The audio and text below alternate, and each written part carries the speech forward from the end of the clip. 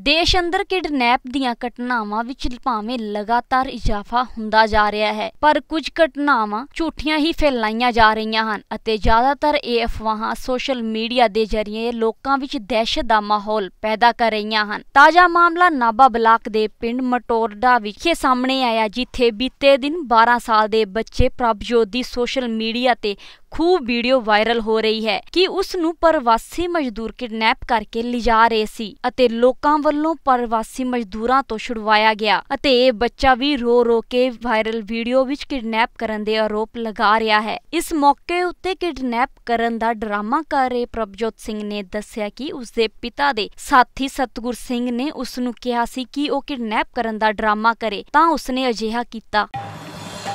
ਪ੍ਰਭਜੋਤ ਕਿਹੜੀ ਕਲਾਸ ਪੜ੍ਹਦੇ ਹੋ? ਛੇਵੀਂ। ਕਿਹੜੇ ਕਿਹੜੇ ਸਕੂਲ ਚ? ਸਰਕਾਰੀ ਮਿਡਲ ਸਕੂਲ ਮਟੋਲਡਾ। ਅੱਛਾ ਕੱਲ ਕੀ ਹੋਇਆ ਸੀ? ਕੱਲ ਮੈਂ ਮੇਰੇ ਡੈਡੀ ਨੂੰ ਠੇਕੇ ਤੇ ਲੈਣ ਜਾਂਦਾ ਸੀ।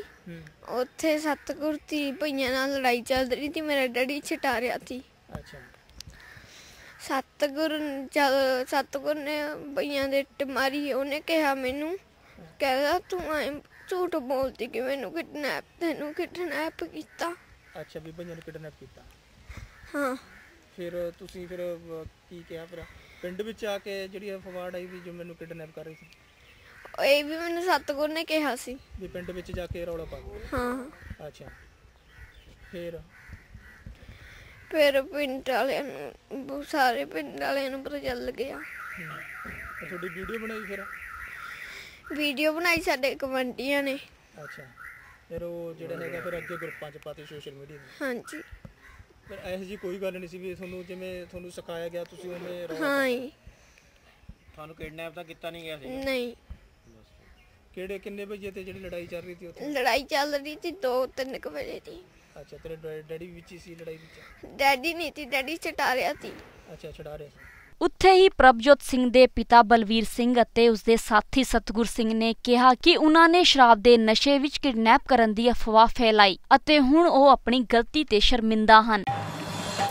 ਅਸੀਂ ਠੇਕੇ ਤੇ ਬੈਠੇ दारू ਪੀ ਰਹੇ ਤੇ ਸਵੇਰੇ 9 ਵਜੇ ਤੋਂ ਜੀ। ਸਿਲੰਡਰ ਲੈਣ ਗਏ ਸੀ ਜੀ ਤੇ ਉਸ ਤੋਂ ਬਾਅਦ ਦੇ ਵਿੱਚ ਭਈਏ ਨੇ ਇਹ ਸਤਗੁਰ ਨਾਲ ਲੜਾਈ ਕੀਤੀ ਹੈ ਜੀ। ਉੱਥੇ ਮੇਰਾ ਬੱਚਾ, ਮੈਂ ਟਾਇਰ ਸੀ ਸ਼ਰਾਬ ਨਾਲ, ਕਿਵੇਂ ਆਇਆ, ਕਿਵੇਂ ਨਹੀਂ ਜੀ, ਮੈਂ ਤਾਂ ਉਸ ਤੋਂ ਬਾਅਦ ਵੀਡੀਓ ਵਾਇਰਲ ਹੋ ਗਈ ਜੀ, ਪਾਈ ਵੀ ਕਿਸੇ ਦੀ।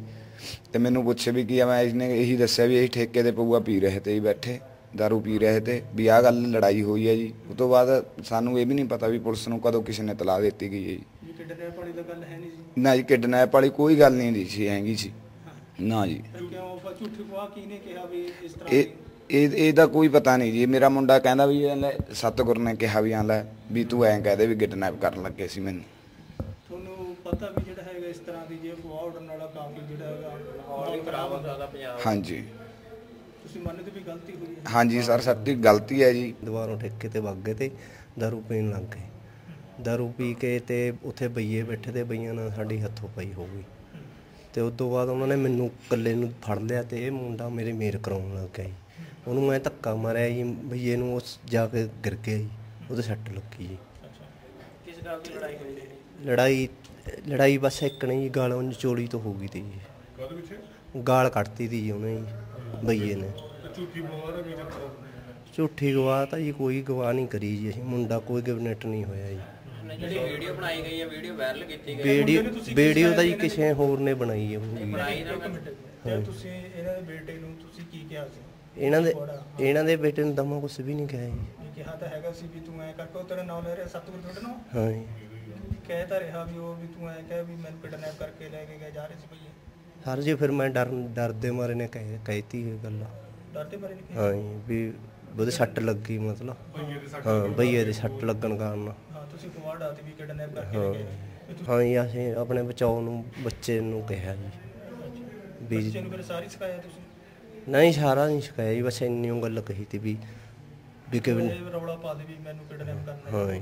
ਬੱਚੇ ਨੂੰ ਕਹਿਤਾ ਤੀ ਵੀ ਮਤਲਬ ਤੂੰ ਗਿਵਨੈਟ ਦੀ ਉਹ ਕਾਇਦੇ ਵੀ ਮੈਨੂੰ ਗਿਵਨੈਟ ਕਰ ਰਹੇ ਤੇ ਤੇ ਮਤਲਬ ਝੂਠੀ ਗੱਲ ਕਹਿਤੀ ਜੀ ਅਸੀਂ ਨੇ। ਅੱਛਾ ਬੱਚੇ ਨੂੰ ਵੀ ਰੌਲਾ ਪਾ ਦਿੱਤਾ ਹਾਂ ਜੀ ਬੱਚੇ ਨੇ ਰੌਲਾ ਪਾਤਾ ਜੀ। ਤੁਹਾਨੂੰ ਪਤਾ ਇਹ ਸਾਨੂੰ ਬੱਚੇ ਦਾ ਵੀ ਨਹੀਂ ਪਤਾ ਵੀ ਕਦ ਆਇਆ ਜੀ ਉਵੇਂ ਤਾਂ। ਉੱਥੇ। ਹਾਂ ਜੀ ਦਾਰੂ ਪੀਤੀ ਵੀ ਤੀ ਜੀ ਸਾਡੀ ਟੈਟ ਤੇ ਜੀ ਤੁਹਾਨੂੰ ਪਤਾ ਜਿਹੜੀ ਇਹ ਡਰਨ ਵਾਲਾ ਕਾਫੀ ਮਾਹੌਲ ਖਰਾਬ ਹੋ ਹੋ ਸਕਦਾ ਸੀ? ਹਾਂ ਜੀ ਸਾਤੋਂ ਗਲਤੀ ਹੋ ਗਈ ਬਹੁਤ ਬੜੀ ਹੈ ਦੂਜੇ ਪਾਸੇ ਪ੍ਰਵਾਸੀ ਮਜ਼ਦੂਰ ਦਾਰਾ ਸਿੰਘ ਨੇ ਕਿਹਾ ਕਿ ਇਹਨਾਂ ਵਿਅਕਤੀਆਂ ਨੇ ਸਾਡੇ ਨਾਲ ਕੁੱਟਮਾਰ ਕੀਤੀ ਸੀ ਇਸ ਤੋਂ ਬਾਅਦ ਇਹਨਾਂ ਨੇ ਸਾਡੇ ਤੇ ਬੱਚਾ ਕਿਡਨੈਪ ਕਰਨ ਦਾ ਦੋਸ਼ ਲਗਾ ਦਿੱਤਾ लगाया सर हम तो हम तो कोई काम नहीं करते सड़क का काम करते हैं लोग करते हैं सर सड़क पर सड़क पर हाँ जी लड़ाई कैसे हुई आप अभी पी रहे थे वो भी पी रहे थे शराब हाँ सर अब एक एक पा- एक पुआ हम दोनों भाइयों ने लगाया था इन्होंने अपनी बोतल लेके पी थी उधर फिर सर इन्होंने मतलब बोले कि मतलब कि वहाँ से हमारी शादी करा दो यूपी से मैंने सर अब इतनी जल्दी कहाँ से शादी करा देंगे? कि नहीं अभी करा दो। कि नहीं सर मैं नहीं इतनी जल्दी तो हम पे नहीं है कि में तो है नहीं हमारी। हम आपको दे देंगे लाके कि नहीं सारो शादी कराओ हमारी जा कहाँ रहे हो? हम चल पड़े वहाँ से उठ के। फिर उन्होंने मतलब पकड़ के गले मार खींच लिया और मेरा था मारा खींच के मतलब करके। आपके कहाँ चोट लगी मेरा ये चोट लगी हुई है सर पीछे। हाँ? ये भी खींच के मारा था उन्होंने जहाँ भी चोट है। और मतलब जो है तो हमने कही छोड़ दो सर हम लड़ाई ना करो हमारे से। हम गरीब आदमी सड़क वाले बंदे हैं। तो इन्होंने फिर हमारे लिए पकड़ के मारते हुए लाए वहाँ से पुलिस तक। टूटते आ रहे और हाथ जोड़ते आ हाथ जोड़ते आ रहे जी छोड़ नहीं रहे हमारे से अच्छा। आपके आरोप क्या लगाया था? आरोप लगाया था सर इन्होंने बच्चे का तो बच्चे चकते हैं ये। अच्छा। फिर आप कैसे छूटे? सर परिवार को लेकर काम करते हैं आप सड़कों पर आप कैसे छूटे? किसने छुड़ाया? पुलिस वाले गए थे तो मतलब जो है कि हमारी बिठाल के फिर वहाँ से लाए हैं फिर। उन्होंने छुड़ाया। ये तो आपको पीट पीट के मार भी छड़ा सकते थे। हम खूब मार रहे थे हमारे सर ये तो। दस बारह सरदार खड़े सर हमारी मार भी सकते जान से भी मार सकते हैं हमारे लिए ये तो ਇਸ ਮੌਕੇ ਐਸਐਚਓ ਗੁਰਮੀਤ ਸਿੰਘ ਨੇ ਦੱਸਿਆ ਕਿ ਇਹ ਕਿਡਨੈਪ ਦਾ ਮਾਮਲਾ ਬਿਲਕੁਲ ਝੂਠਾ ਸੀ ਇਸ ਦੇ ਨਾਲ ਹੀ ਉਹਨਾਂ ਦੱਸਿਆ ਕਿ ਉਹਨਾਂ ਨੇ ਪ੍ਰਭਜੋਤ ਸਿੰਘ ਦੇ ਪਿਤਾ ਬਲਵੀਰ ਸਿੰਘ ਅਤੇ ਸਤਗੁਰ ਸਿੰਘ ਦੇ ਖਿਲਾਫ ਝੂਠੀ ਅਫਵਾਹ ਫੈਲਾਉਣ ਦੇ ਮਾਮਲਾ ਦਰਜ ਕਰ ਲਿਆ ਹੈ ਸਰਦਾਰ ਅਮਰੀਕ ਸਿੰਘ ਸਰਪੰਚ ਪਿੰਡ ਮਟੋਰੜੇ ਤੋਂ ਫੋਨ ਆਇਆ ਸੀ ਵੀ ਸਾਡੇ ਪਿੰਡ ਦੇ ਵਿੱਚ ਜਿਹੜੀ ਲੜਾਈ ਹੋ ਰਹੀ ਹੈ ਪ੍ਰਵਾਸੀ ਮਜ਼ਦੂਰਾਂ ਨੂੰ ਲੋਕ ਕੁੱਟ ਰਹੇ ਨੇ। ਉੱਥੇ ਮੌਕੇ ਤੇ ਸਾਡੇ ਜਿਹੜੇ ਏਐਸਆਈ ਪਰਮਜੀਤ, ਪਰਮਿੰਦਰ ਸਿੰਘ ਤੇ ਉਹ ਨਾਲ ਪੁਲਿਸ ਪਾਰਟੀ ਗਈ ਸੀ। ਉਹਨਾਂ ਨੇ ਜਾ ਕੇ ਜਿਹੜੀ ਪੜਤਾਲ ਕੀਤੀ, ਉੱਥੇ ਜਾ ਕੇ ਪਤਾ ਲੱਗਿਆ ਤੇ ਕਹਿਣ ਲੱਗੇ ਵੀ ਜਿਹੜੇ ਸਾਡਾ ਬੱਚੇ ਨੂੰ ਭਈਏ ਨੇ ਦੋ ਪ੍ਰਵਾਸੀ, ਵੀ ਉਹ ਜਿਹੜੇ ਆ, ਕਿਡਨੈਪ ਕਰਨ ਲੱਗੇ ਸੀਗੇ। ਫਿਰ ਅਸੀਂ ਉਹਦੀ ਡੰਗਾਈ ਦੇ ਨਾਲ ਅਸੀਂ ਉਹਦੀ ਪੜਤਾਲ ਕੀਤੀ। ਪੜਤਾਲ ਤੋਂ ਇਹ ਗੱਲ ਸਾਹਮਣੇ ਆਈ, ਜਿਹੜਾ ਪ੍ਰਭਜੋਤ ਦਾ ਫਾਦਰ ਆ ਬਲਵੀਰ ਸਿੰਘ ਅਤੇ ਇੱਕ ਉਹਦਾ ਦੋਸਤ ਸੀਗਾ ਸਤਗੁਰ ਸਿੰਘ। ਜਿਹੜੇ ਦੋਨੇ ਭਈਏ ਸੀਗੇ, ਪ੍ਰਵਾਸੀ ਸੀਗੇ, ਜਿਹੜੇ ਉੱਥੇ ਰੋਡ ਬਣਦਾ, ਰੋਡ ਦੇ ਉੱਤੇ ਜਿਹੜੇ ਲੇਬਰ ਦਾ ਕੰਮ ਕਰਦੇ ਸੀ, ਚਾਰਾਂ ਨੇ ਬੈਠ ਕੇ ਪਿੰਡ ਦੇ ਵਿੱਚ ਹੀ ਜਿਹੜਾ ਠੇਕਾ ਹੈ, ਉੱਥੇ ਦਾਰੂ ਪੀਤੀ। ਦਾਰੂ ਪੀਂਦੇ ਪੀਂਦੇ ਕਿਸੇ ਗੱਲ ਤੋਂ ਉਹਨਾਂ ਦਾ ਤਕਰਾਰ ਹੋ ਗਿਆ। ਇਹਨਾਂ ਨੇ ਭਈਏ ਦੇ ਜਿਹੜੀ ਆ ਧੱਕਾ ਦੇ ਦਿੱਤਾ, ਉਹਦਾ ਜਿਹੜਾ ਸਿਰ ਫਟ ਗਿਆ ਸੀਗਾ। ਸਿਰ ਫਟਣ ਕਾਰਨ ਉਹ ਕਾਫੀ ਜ਼ਿਆਦਾ ਇੰਜਰ ਹੋ ਗਿਆ। ਉਸ ਦੇ ਡਰ ਕਾਰਨ ਜਿਹੜਾ ਸਤਗੁਰ ਸਿੰਘ ਆ, ਇਹਨੇ ਪ੍ਰਭਜੋਤ ਜਿਹੜਾ ਉੱਥੇ ਮੌਕੇ ਤੇ ਆ ਗਿਆ ਸੀਗਾ, ਉਹਨੂੰ ਇਹ ਗੱਲ ਕਹਿਤੀ ਵੀ ਨਹੀਂ, ਅਸੀਂ ਜੇਲ੍ਹ ਚਲੇ ਆਵਾਂਗੇ।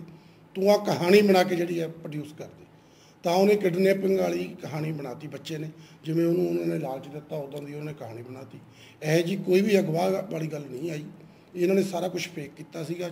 ਸਿਰਫ ਇਸ ਕਾਰਨ ਕੀਤਾ ਸੀ ਵੀ ਇਹਨਾਂ ਦੇ ਖਿਲਾਫ ਜਿਹੜੇ ਭਈਏ ਨੇ ਕੋਈ ਕਾਰਵਾਈ ਨਾ ਕਰਾ ਦੇਣ। ਬੱਚਾ ਕਿੰਨੀ ਕੁ ਉਮਰ ਦਾ ਸਰ? ਜਿਹੜਾ ਪ੍ਰਭਜੋਤ ਜਿਹੜਾ ਬੱਚਾ ਹੈਗਾ ਜੀ ਉਹ 11 ਸਾਲ ਦਾ ਜੀ। ਉਹ ਮੈਨੂੰ ਰਾਤ ਵੀ ਮੌਕੇ ਤੇ ਵੀ ਮਿਲਿਆ ਅੱਜ ਵੀ ਮਿਲ ਕੇ ਗਿਆ। ਉਹ ਬਿਲਕੁਲ ਇਹ ਨਾਰਮਲ ਕਰਕੇ ਅਸੀਂ ਕਲੀਅਰ ਕੀਤਾ। ਉਹ ਕਹਿੰਦਾ ਮੇਰੇ ਬਿਲਕੁਲ ਮੇਰੇ ਜਿਹੜਾ ਫਾਦਰ ਦੇ ਨਾਲ ਉਹਦਾ ਦੋਸਤ ਸੀਗਾ ਸਤਗੁਰ ਸਿੰਘ ਉਹਦੇ ਕਹਿਣ ਤੇ ਮੈਂ ਸਾਰੀ ਕਹਾਣੀ ਕੀਤੀ। ਪੁਲਿਸ ਸਰ ਕੀ ਕਾਰਵਾਈ ਕਰ ਰਹੀ ਹੈ? ਜਿਹੜੀ ਝੂਠੀ ਅਫਵਾਹ ਫੈਲਾਈ ਉਸ ਤੇ ਕੋਈ ਮਾਮਲਾ ਦਰਜ ਕਰ ਰਹੀ ਹੈ ਹਾਂਜੀ ਅਸੀਂ ਦੋਨਾਂ ਦੇ ਖਿਲਾਫ ਜਿਹੜਾ ਮੁਕੱਦਮਾ ਦਰਜ ਕਰ ਲਿਆ ਬਲਵੀਰ ਸਿੰਘ ਤੇ ਵੀ ਸਤਗੁਰ ਸਿੰਘ ਤੇ ਵੀ 182 ਆਈਪੀਸੀ ਦਾ ਪਰਚਾ ਦਰਜ ਕਰਤਾ ਅਤੇ ਜਿਹੜਾ ਇਹਨਾਂ ਨੇ ਪ੍ਰਵਾਸੀ ਮਜ਼ਦੂਰ ਨੂੰ ਕੁੱਟਿਆ ਸੀ ਉਹਦੇ ਤੇ ਅਸੀਂ ਇਹਦੀ ਹਾਲ ਦੀ ਘੜੀ 751 ਕੀਤੀ ਆ। ਜੇ ਕੋਈ ਹੋਰ ਡਾਕਟਰੀ ਰਿਪੋਰਟ ਆਈ ਉਹਦੀ ਵੀ ਅਸੀਂ ਕਰ ਦਿੱਤੀ। ਸੋਸ਼ਲ ਮੀਡੀਆ ਦਾ ਦੁਰਉਪਯੋਗ ਹੋ ਰਿਹਾ ਕੀ ਕੀ ਮੈਸੇਜ ਦੇਣਾ ਚਾਹੁੰਦੇ ਲੋਕਾਂ ਦੇ ਵਿੱਚ? ਸਾਡੇ ਵੱਲੋਂ ਸਾਰੇ ਜਿਹੜੇ ਦੇਸ਼ ਵਾਸੀ ਨੇ ਸਾਰਿਆਂ ਨੂੰ ਇਹੀ ਹੈ, ਬੇਨਤੀ ਹੈ ਵੀ ਜਿਹੜੀ ਪਹਿਲਾਂ ਤਹਿਕੀਕਾਤ ਕਰਕੇ ਹੀ ਇਹ ਜੀ ਜਿਹੜੀ ਆ ਕੋਈ ਵੀਡੀਓ ਵਾਇਰਲ ਕੀਤੀ ਜਾਵੇ, ਤਾਂ ਜੋ ਜਿਹੜੇ ਆਮ ਲੋਕਾਂ ਦੇ ਵਿੱਚ ਜਿਹੜੀ ਉਹਨਾਂ ਦੀ ਸ਼ਾਂਤੀ ਭੰਗ ਨਾ ਹੋਵੇ। ਜਿਹੜੀ ਹੁਣ ਕੱਲ ਵੀਡੀਓ ਵਾਇਰਲ ਹੋਈ ਆ, ਉਹਦੇ ਨਾਲ ਆਮ ਲੋਕਾਂ 'ਚ ਇਹ ਗੱਲ ਪਾਈ ਗਈ ਆ ਵੀ ਬੱਚੇ ਨੂੰ ਕਿਤੇ ਭੇਜੋ ਨਾ ਜੀ, ਇਹ ਹੋ ਜਾਊਗਾ ਜਾਂ ਕੋਈ ਕਿਡਨੈਪਿੰਗ ਵਾਲੀ ਆ ਜਾਊਗੀ। ਇਹੋ ਜੀ ਗੱਲ ਜਿਹੜੀ ਹੈ ਬੜੀ ਮਾੜੀ ਹੈ ਸਾਰੀ ਗੱਲ ਦੀ ਤਹਿਕੀਕਾਤ ਕਰਕੇ ਹੀ ਇਹਦੀ ਜਿਹੜੀ ਆ ਵੀਡੀਓ ਵਾਇਰਲ ਹੋਣੀ ਚਾਹੀਦੀ ਹੈ ਐਦਾਂ ਵੀਡੀਓ ਵਾਇਰਲ ਨਹੀਂ ਕਰਨੀ ਚਾਹੀਦੀ।